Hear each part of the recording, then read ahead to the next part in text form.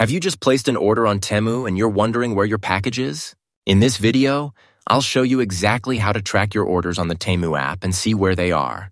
So follow the steps in this video, everyone. What I'll do is I'm going to open the Temu app on my device and then make sure you're logged into your Temu account.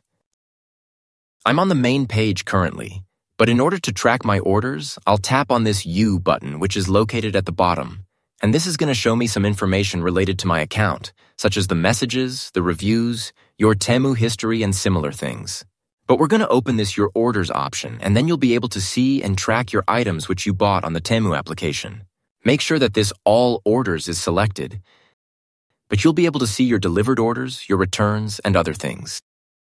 But I'll get back to the All Orders section, and you will be able to see them and track them from here. If you've gone to the All Orders page on Temu but can't find the order you placed, don't worry, there's a quick fix. Scroll down and tap on the Self-Service to Find Order option. From there, enter the email or phone number you used when placing the order, and if possible, include the order number from your confirmation email. This tool is especially helpful if you accidentally checked out as a guest or weren't logged in, which can cause your order to not appear under your account.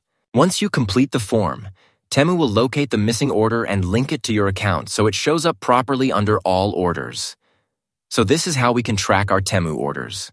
I have a separate Temu playlist which contains other tutorials related to this app, so make sure you check it out, and I'll see you in the next video.